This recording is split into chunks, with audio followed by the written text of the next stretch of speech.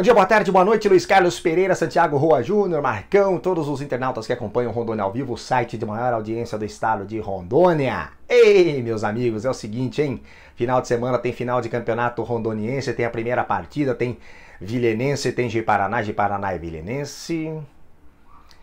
Aí é com vocês, hein? Vocês que estão aí com a mão no pulso do paciente. Eu tô aqui de longe acompanhando, eu tava torcendo pro Porto Velho, mas o Porto Velho caiu na semi. É, acho que o Paraná tem mais camisa, tem mais peso aí nessa final. Então, vamos ver, vamos aguardar, né? Pelo menos foram as informações que eu recebi aqui. Então, de fato, é uma grande competição que a federação organizou aí com 10 equipes. É, competição aí que gerou muito, gerou emprego direto, indireto. O trabalho da federação é feito, os clubes também vão fazendo os seus aí, né?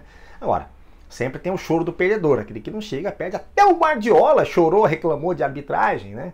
Você vê na Champions League, né, o jogo entre Manchester City e Tottenham, a vitória por 4 a 3 do Manchester City, mesmo assim a equipe uh, de Manchester acabou eliminada por causa do VAR. Mas lá, Marcão e internautas, o VAR funciona e rápido, né? O VAR funciona e rápido. E não tem questionamento dos jogadores. O juiz foi lá, olhou na tela, confirmou, não é, apitou, tá na cal, não tá na cal, anula e é uma bola vida que segue. Aqui nós tivemos a final, o time do Santiago Roa Júnior aí, o técnico o time do Inter não quis nem receber as medalhas. Para com isso, que antidesportismo que é esse, gente? Foi pênalti. Aliás, acho que um ponto que está sendo. Acho que 99% das decisões, apesar de demoradas, mas tomadas no VAR, estão sendo acertadas, ou não? A impressão minha, ou pelo menos vai, 95%. Algum errinho ou outro, tal, mas foi uma questão de interpretação. É, o problema é que quando se muda uma opinião, uma posição, que está na regra agora, os jogadores ficam bravos, tomam cartão amarelo, toma isso, toma aquilo, não quer deixar bater pênalti, não quer. Besteira, né? Tem que mudar essa cultura, mas também. O que, você quer, né? O cara tem. Você enjoa de ver. Isso acontece em Porto Velho, isso acontece em São Paulo, acontece em todo quanto é lugar no Brasil. Brasil, hein? Você anda aqui. Quantas, quantas vezes vocês já não viram aí, você, Luiz Carlos, você, Marcão, cidadão com um carrão na frente, ou com um carro mais modesto, abre o vidro do carro e joga um papel na rua. É cultura, né? É educação, é uma série de coisas que envolve isso. A gente vai chegar lá, a gente ainda chega lá, tenho certeza disso.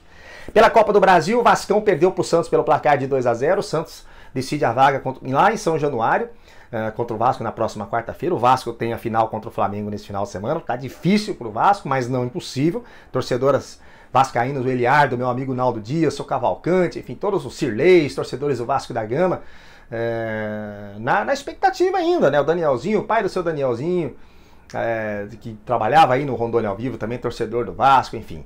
É, eu acredito que vai ser um grande jogo, mas acho que o São Flamengo tem, um, tem, uma grande vantagem por ter vencido a primeira partida por 2 a 0 Tá com cara de Mengão esse campeonato carioca. É, até porque o Abelão vai enfiar o time completo, né?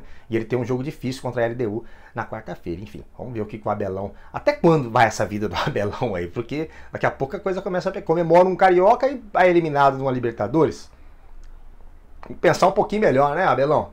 Carioca você já tem um monte, meu amigo. Vamos lá. Vamos aguardar. No Campeonato Paulista, Corinthians e São Paulo, Marcão. Você pode até me perguntar, Vanderlei, o que você acha que vai acontecer nesse jogo? Eu acho que vai ser 0 a 0 e vai para os pênaltis. Porque o Corinthians a gente já sabe como é. Vai, tá, um, um, vai mostrar um futebol diferente do que tem mostrado ultimamente aí. Jogar numa retranca, a não ser aquele jogo contra o Santos que ele ganhou de 2 a 1 que o zagueirão do Santos deu uma entregada do ouro lá. Tudo bem, aquele dia jogou bem, mas depois o Corinthians foi uma equipe assim que se portou muito defensivamente, até demais, né? Os corintianos também reconhecem isso, o próprio Carilli. O time não vem jogando bem, perdeu para Chapecoense ontem na Copa do Brasil.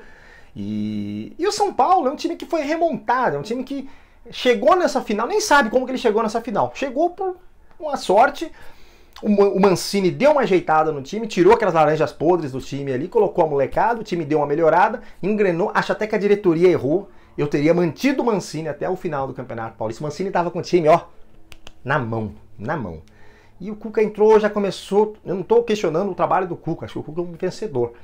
Mas não era o momento para ele entrar ainda. Entrasse no Campeonato Brasileiro. Mas enfim, não espero muita coisa do São Paulo também, que o São Paulo, o último gol que o São Paulo marcou foi contra o Ituano, no jogo da volta das quartas de final. Então, e um gol bem pereré ainda, né? Ou seja, tá com cara de 0 a 0 e pênalti de novo. E Haja coração. Forte abraço para vocês, um ótimo final de semana, boa sorte a todos os torcedores dos seus clubes aí que estão nas finais dos campeonatos e na segunda-feira eu tô de volta. Tchau, tchau.